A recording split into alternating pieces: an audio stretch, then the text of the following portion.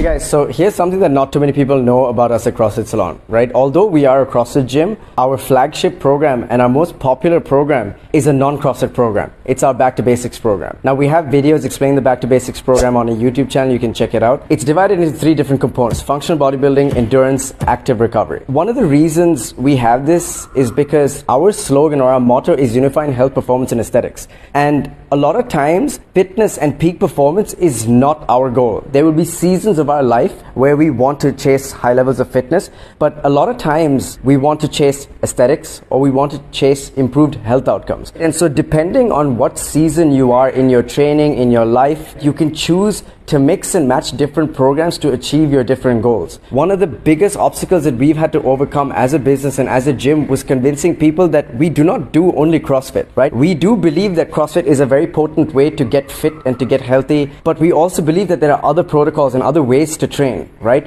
And functional bodybuilding or bodybuilding has stood the test of time. And the reason it has stood the test of time is because it is a very potent, results driven type of training, right? For decades, people have got results. Millions of people have got amazing results doing bodybuilding. Now, although we don't do traditional type bodybuilding, we do what's referred to as functional type bodybuilding. And so these protocols with the functional bodybuilding, the endurance class, and the mobility is what we find is the best way to unify these three things that are the principles of our coaching system which is unifying health, performance, and aesthetics. Because at some point, depending on what season we are, we're always in a different place or in a blend of all these three places. And that's why we design the programs that we design.